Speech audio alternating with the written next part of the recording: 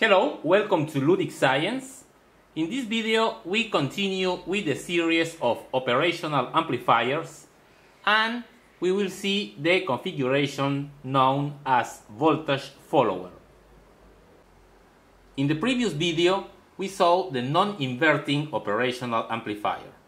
This has a gain given by 1 plus R1 divided by R2. Now imagine that we make R1 equal to 0 and R2 equal to infinity.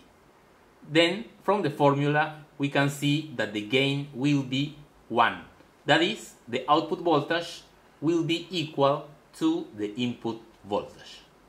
And how do we obtain these values of resistance? Well, a resistance equal to 0 is just a wire going from here to here. And an infinite resistance will be just to disconnect this point here. No connection. Therefore, we will obtain something like this, which is the voltage follower configuration. The output voltage will be always equal to the input voltage. Next time you need a PCB for your electronics project, consider using the professional services of JLC PCB. JLC PCB is the world leader in PCB fabrication. You can order online. You just need to register, upload your Gerber file, and wait a few days for your PCBs at an unbeatable price. Okay, here I have the test circuit on breadboard. The power supply is connected to the input and the output is monitored with the multimeter.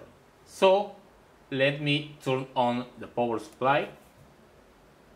You can see that it is at 6.5 volts and the output from the op amp is also 6.5 volts. If we change the input voltage, the output varies by the same amount. 7 volts at the input means 7 volts at the output, and so on.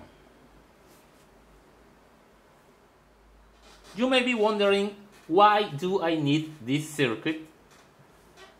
I mean, the output voltage is the same as the input voltage, so it looks kind of unuseful. However, that is not the case. Actually, this circuit is very useful. Why? Well, remember from the first video that operational amplifiers have a very, very high impedance at the input, on the order of hundreds of mega ohms. Therefore, at the input, practically no current flows. The current is practically zero. But at the output, the impedance is low and we can have considerable currents. Therefore, this type of circuit can be used as an impedance matcher. Let's see the classic example, which is the resistive voltage divider.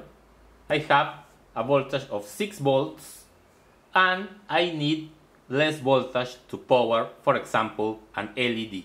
So I make a voltage divider with two resistors. The voltage value at each resistor depends on the value of the resistors. For example, here in the resistor below, we have a voltage of 2.95 volts that I want to use to power a LED, an LED that needs that voltage. So let me connect the LED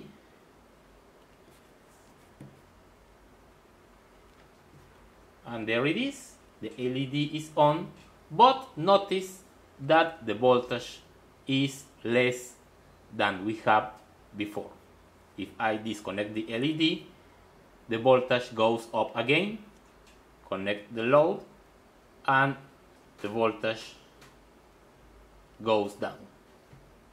And this is normal to happen because we are adding a load to the circuit the load has a resistance and the value of the voltage divider changes. Therefore, my voltage also changes.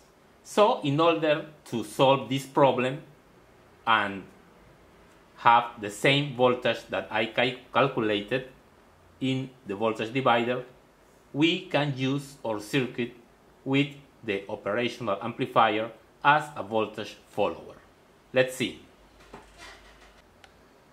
Here is the resistive voltage divider connected to the input of the operational amplifier as a voltage follower. So let's now see what happens with the output voltage. Again, I will connect my LED lamp, but now it is connected to the output of the operational amplifier. As you can see, the voltage is 2.93. Connect the LED and the voltage does not vary. Connected and disconnected, the voltage stays the same.